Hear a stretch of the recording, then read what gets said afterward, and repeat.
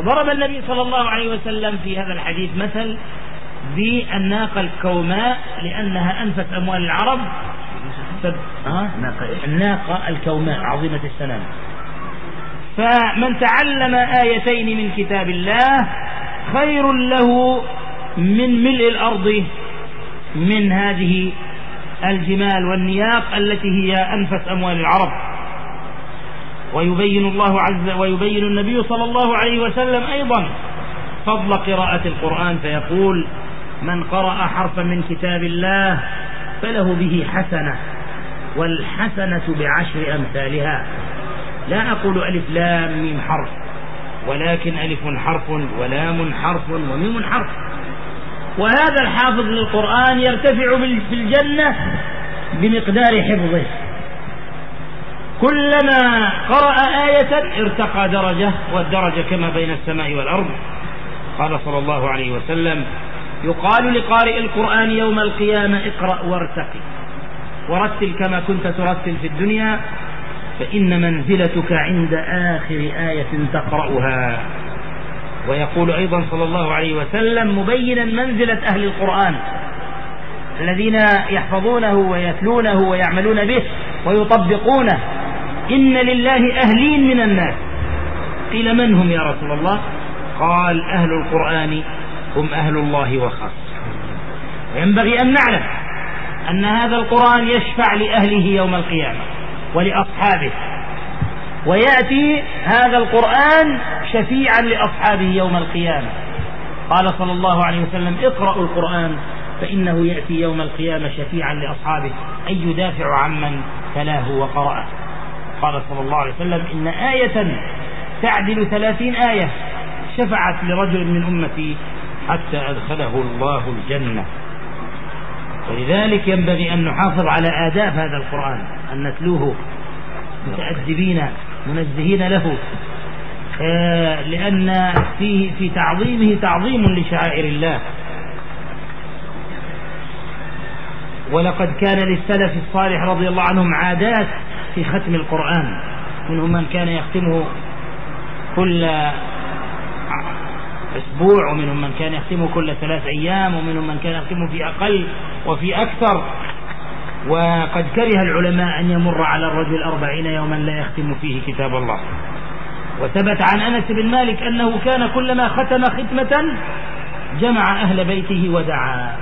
قال ابن مسعود لكل ختمة دعوة مستجابة. ونبينا صلى الله عليه وسلم قد أشار إلى ذلك حينما قال اقرأوا القرآن واسألوا الله به. من قبل أن يأتي أقوام يقرؤون القرآن يسألون به الناس. لذلك حرم النبي صلى الله عليه وسلم التأكل بالقرآن. وأن يقرأ الإنسان وأن يتخذ الإنسان قراءة القرآن وإقراء القرآن حرفة كما يفعل بعض مشاهير القراء هداهم الله. وهذا القرآن جعله الله شفاء لما في الصدور. كان النبي صلى الله عليه وسلم يرقي بالقرآن بالمعوذتين. وأذن لأبي سعيد أن يرقي بالفاتحة. فقد رقى وأقره النبي صلى الله عليه وسلم. رقى سيد القوم الذي لدغته الذي لاسعته العقرب. وقال وما أدراك أنها رقية اضربوا لي معكم بسهم. ومن لم يستشفي بالقرآن فلا شفاه الله. فعلينا أيها الإخوة أن نعكف على كتاب الله تدبرا وقراءة وتعلما ودعوة وأن نعظم كتاب الله وأن نجعله رائدنا في كل خير وأن لا نفرق القرآن والسنة فإنها فإن الذين يفرقون بين القرآن والسنة هم من أدعياء الشيطان أو من أحزاب من أعوان الشيطان. وقد نهى النبي صلى الله عليه وسلم عن ذلك حينما قال لا ألفين أحدكم متكئا على أريكته شبعان. يأتيه الأمر من أمري مما أمرت أو نهيت. فيقول دونكم كتاب الله. ما وجدتم فيه من حلال فأحلوه. وما وجدتم فيه من حرام فحرموه. ألا إني أوتيت القرآن ومثله معه. والقرآن لا يمكن أن يفهم إلا بالسنة والسنة الصحيحة. وأنزلنا إليك الذكر لتبين للناس ما نزل إليهم. ولا يفرق بين القرآن والسنة في التشريع وفي العمل إلا مغرض وضال والعياذ بالله. هداني الله وإياكم. لحفظ للعمل بالقرآن وتلاوة القرآن حق تلاوته. وجعلنا الله وإياكم ممن يشفع لنا القرآن وممن يكون لنا حجة لنا لا علينا. إنه ولي ذلك والقادر عليه. وصلى الله وسلم على نبينا محمد وآله وسلم. والسلام عليكم.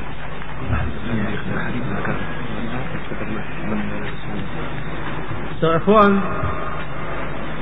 Sheikh, he said that Allah Ta'ala has made this Quran for us to worship by it via recitation.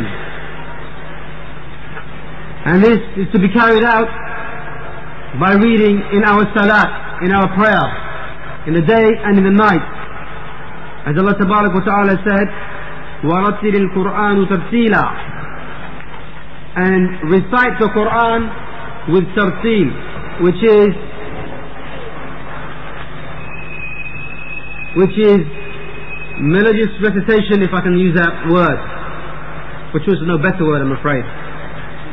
And tartil was explained upon to be recitation with tajweed, with all its correct pronunciations and stopping where one should stop and continuing where one should, where one should continue, etc.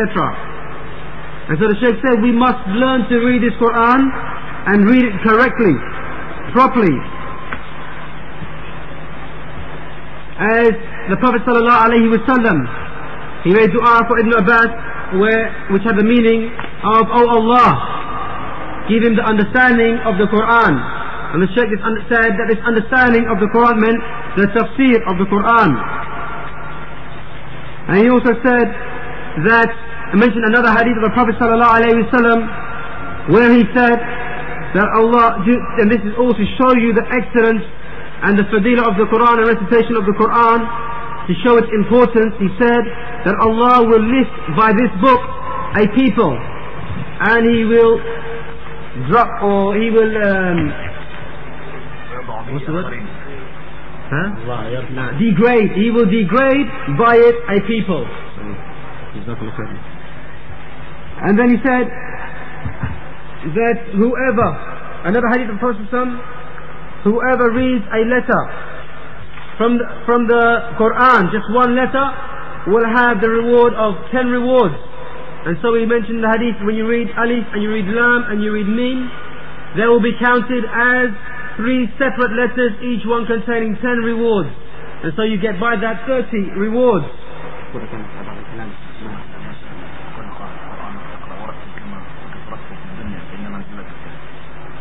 And another hadith of the Prophet ﷺ is when the malaika, they say to the believer, after his death, recite the Quran like you used to recite it in this world. For indeed, your place, meaning the place in your akhirah, will be dependent upon the where upon the where you stop. Yani recite, recite, continue reciting for where you stop reciting, that will be your place in paradise. And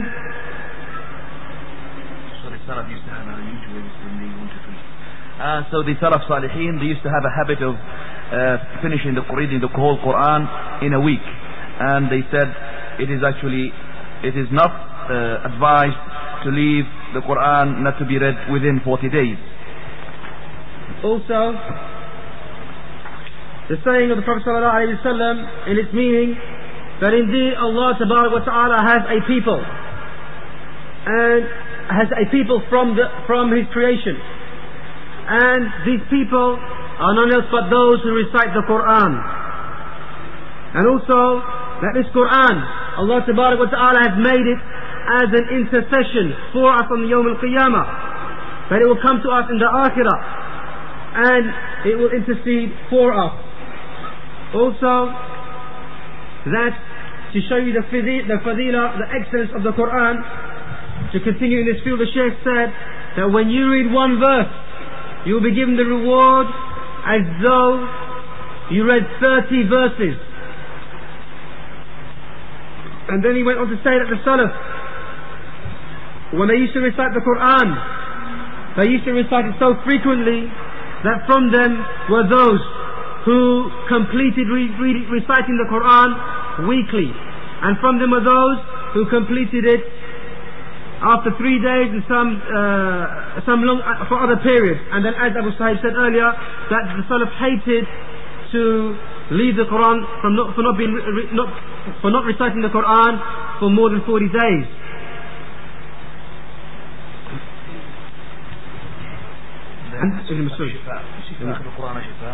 And also that uh, Ibn Masud, he said that every completion of the Quran, every time you complete the Quran, then there is a dua that you can make which is answered. And then he... كان أنس قال ابن مسعود بس أنس كان يجمع أولاده وأهل بيته عند كل Anas used to get his children together when he completed the Quran and then he used to make this dua. And then Ibn Masud, he, said that for every completion of the Quran that there is a dua which is istajab, which is answered. And then also that this Quran is a cure, ikhwan, for the heart, for the diseases that are contained within the heart. And that it is well known that they used to make ruqya with the, the last two verses of the, Quran, of the Quran and other verses of the Quran. And he also mentioned, the Shaykh also mentioned that whoever does not take the Quran as a source of cure, then such an individual will not be cured.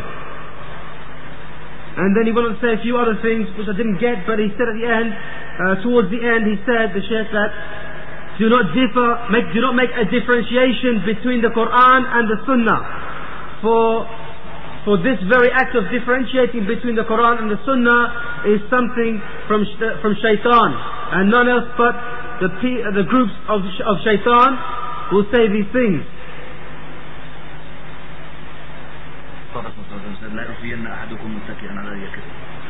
The end part of that hadith, which is which refers to us, where the Prophet ﷺ said to prove this is in proof to show us that the Quran and the Sunnah have the same station. At the end part of this long hadith, he said that the um, the, the people will recite the Quran, they will make halal what Allah makes halal. They will make haram what Allah makes haram. When an issue comes, they'll say, come, bring the Quran. And let's see what the judgment is within it. And then, uh, and, and, then he said, uh, then uh, the Prophet ﷺ said, but have I not been given something else along with it? And that was the, his sunnah. And that's from the meaning, the end meaning of the hadith. The Quran cannot be understood until and so the Quran cannot be truly and correctly understood except with the explanation of the Sunnah, as Allah Subhanahu wa Ta'ala said. In, in, in, and indeed we have revealed to you a dhikra. And the dhikra here ikhwan is the Quran.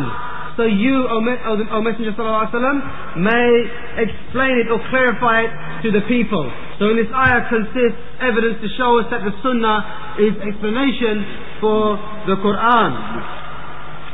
And that, ikhwan, I'm afraid is all I got. And Abu Sahib, if he has anything else to add to that. وجزاكم الله خير. And the Shaykh made dua to us, Allah Ta'ala, to give us all the tawfiq to recite the Quran, to give it its, to give it its due, and to give us the tawfiq to act upon it. وصلى الله على محمد وعلى آله وصحبه أجمعين وآخر دعوانا الحمد لله رب العالمين. And now we will enter into um, the questions that have come.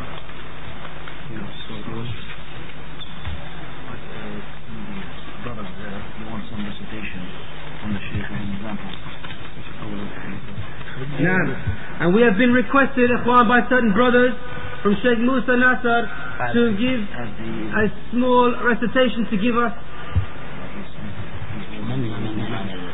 to give us an example of how the Quran should be recited. As we know, our Sheikh Musa Nasser has a PhD and he's a doctorate in recitation of the Quran. So we ask him to, inshallah, give us an example. طلب الإخوة. لو تدعو. لا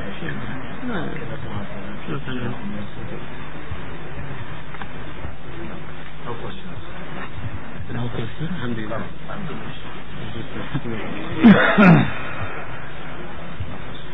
أعوذ بالله من الشيطان الرجيم.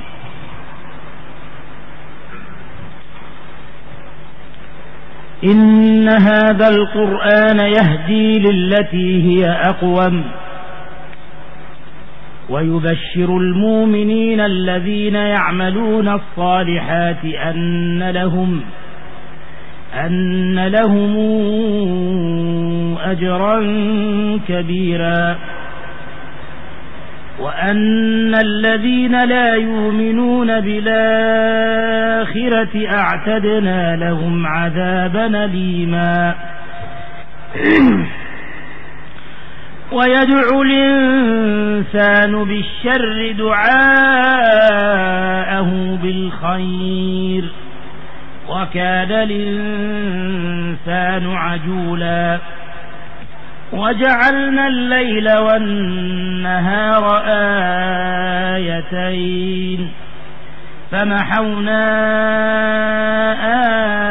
آية الليل وجعلنا آية النهار مبصرة وجعلنا آية النهار وجعلنا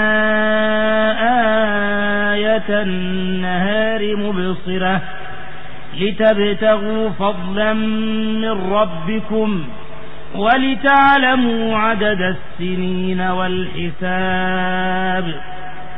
وكل شيء فصلناه تفصيلا وكل إنسان ألزمناه طائره في عنقه ونخرج له يوم القيامة كتابا يلقاه منشورا. اقرأ كتابك. كفى بنفسك اليوم عليك حسيبا. هذا مثال لقراءة آه، ورش. مثال الآن لقراءة الكسائي. And what you just heard this one was a, the, an example of the recitation of ورش. ورش. And now it is an example أعوذ بالله من الشيطان الرجيم. ويل لكل همزة لمزة الذي جمع ماله وعدده. يحسب أن ماله أخلده. كلا لينبذن في الحطمه وما أدريك ما الحطمه نار الله الموقده التي تطلع على الأفئدة. إنها عليهم مؤصدة. في عمد ممددة.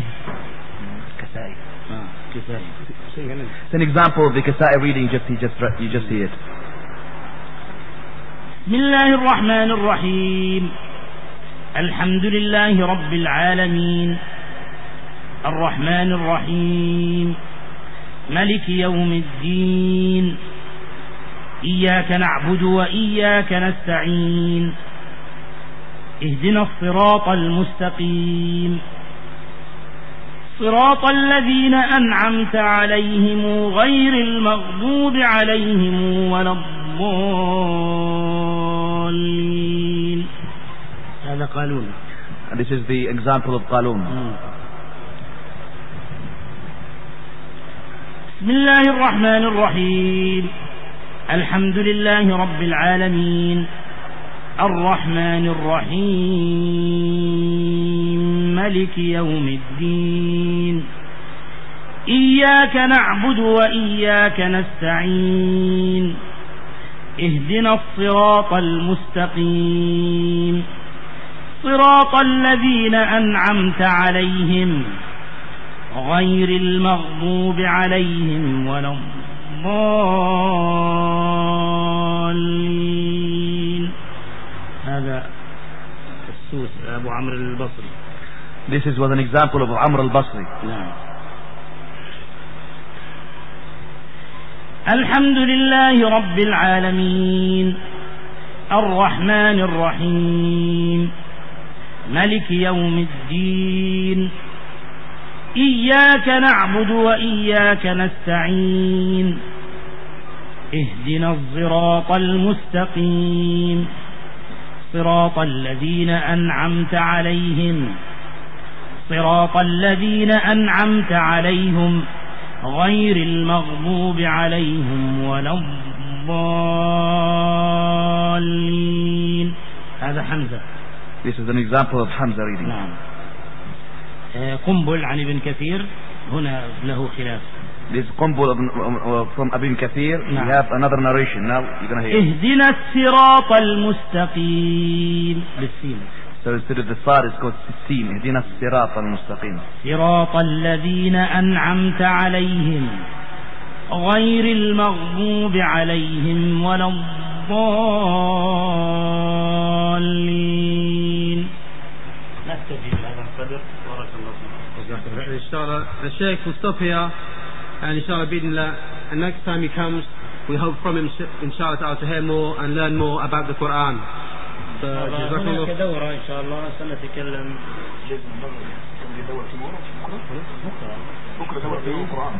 دورة علوم القرآن Aywa, mashallah. And there is a course tomorrow, Akhwan, which all of you cordially are invited to, which is which is a course of um, uh, the science of Quran.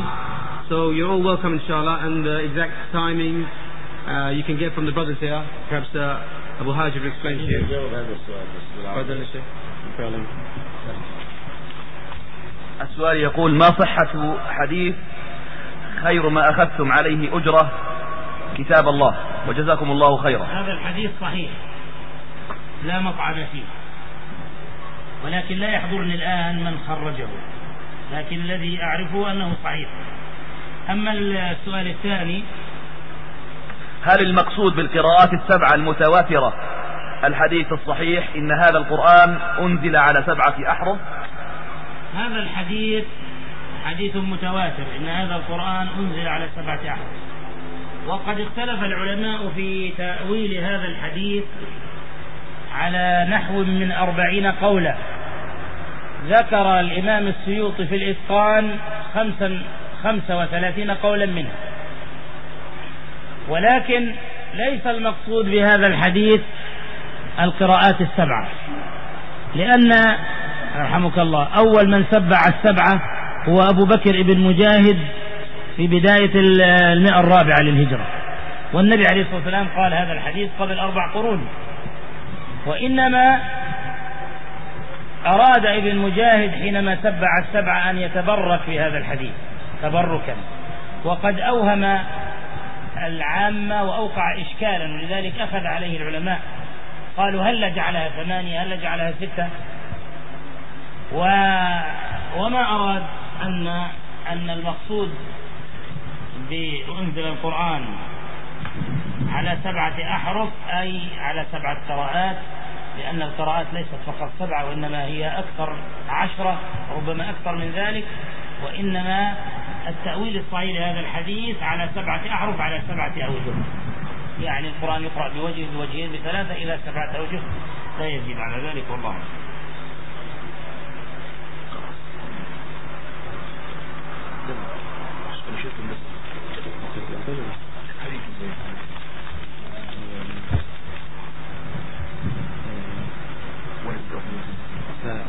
خير ما أخذتم عليه أجرة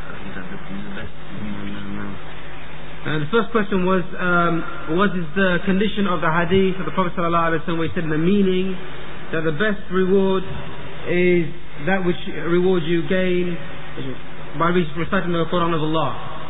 And then he said the hadith is sahih. That reward is Ah. You understand? Ujra means. No, no, no. The best reward in form of wages or payment is that is that reward which you get for reciting the Quran. That's the hadith. What's the condition of the hadith? He said was his hadith is sahih, but he doesn't remember the takhrij at the moment. And inshallah, maybe next time he'll clarify it for us. The second uh, uh, question was regarding the uh, the seven dialects of the Quran, which is which are mutawatir, and the hadith that indeed this Quran was revealed upon seven yani, uh, seven not letters, seven dialects. And he about seven dialects. Is, is this, he wants to know about this hadith, what's the meaning of this hadith? And I didn't get all of it, but what I got was that the Sheikh said that the hadith is indeed mutawatir, mutawatir and the ulama of Islam, they differed upon its meaning to over 40 sayings. 35 of the sayings were narrated by Suyuti. And its meaning was not referring to the seven dialects. Uh, recit- uh, sorry, seven recitations. And Muhammad ibn Mujahid, he mentioned some. Abu Bakr. ايش مقطع ابو بكر ابن مجاهد هذا الف كتاب السبعه دكتور Abu Bakr Ibn Mujahid. Ibn Mujahid. Abu Bakr ibn Mujahid, he is the one who, um, who, who wrote this book about these seven recitations. And the reason to why he wrote this, he said, uh, the Sheikh mentioned later, was to encourage the recitation. But he said, even before this, before his um, compiling of the book, the Prophet ﷺ had made this clear to us anyway, many centuries ago. And so therefore, these seven ahruf, these um, dialects, is not referring to recitation. Rather, it truly means the, the, the best I can translate was the seven the seven faces or the seven apparent faces of the recitation, if I can say that way. Allahu Alam. Deficiency in English language. No, that's good. And Arabic. وجزاكم الله خير. No, deficiency in the English language, not in your No, it's me, it's me, not the language, it's me. بارك الله فيك. جزاكم الله خير. يا شيخ. بارك الله فيك. صلي وسلم. وأستغفرك وأتوب إليك.